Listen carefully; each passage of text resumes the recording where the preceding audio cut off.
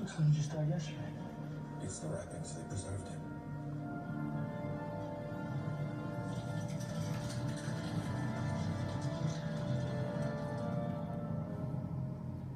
What just happened?